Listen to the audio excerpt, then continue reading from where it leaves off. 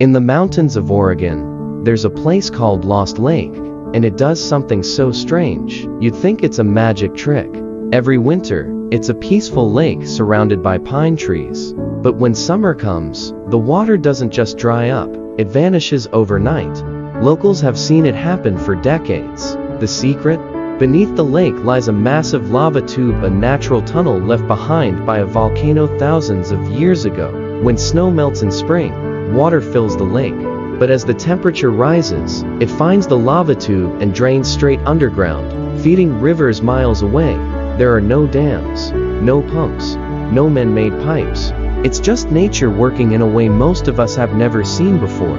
Scientists say it's perfectly safe, but standing there, watching a whole lake disappear beneath your feet, feels almost impossible to believe. Would you visit a lake that vanishes right in front of you?